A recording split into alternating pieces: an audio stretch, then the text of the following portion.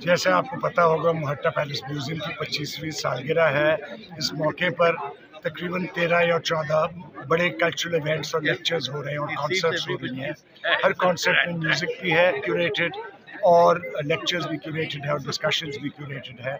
آج کا موضوع جو تھا، وہ ساتھ صاحب پر تھا، جو انیس سو سینتالیس میں امروہر سے پاکستان آئے، جو ان کی زندگی تھی اور جو ان کا فن تھا۔ ان کے ذریعے انہوں نے ایک نئی وکیبلری بنائی، جس سے انہوں نے انٹرنیشنل آڈینسز کو پیرس میں اور بین الاقوامی ممالک میں ان کو انہوں نے پیرالائز کر لیا with the new feeling from Pakistan آج بھی بین الاقوامی طور پر سات کا صاحب کی تعریف ہوتی ہے، ان کے انوویشن کی تعریف ہوتی ہے تعریف ہوتی ہے۔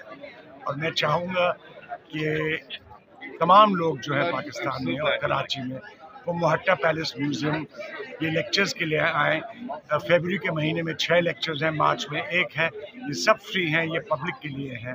اور یہ ضروری ہے کہ پبلک کراچی میں اور پاکستان میں اور سندھ میں ان کو اپریشیٹ کریں۔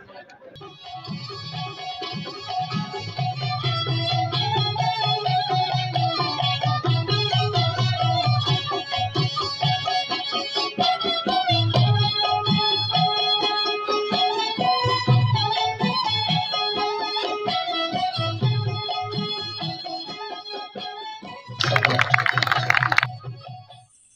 Santa.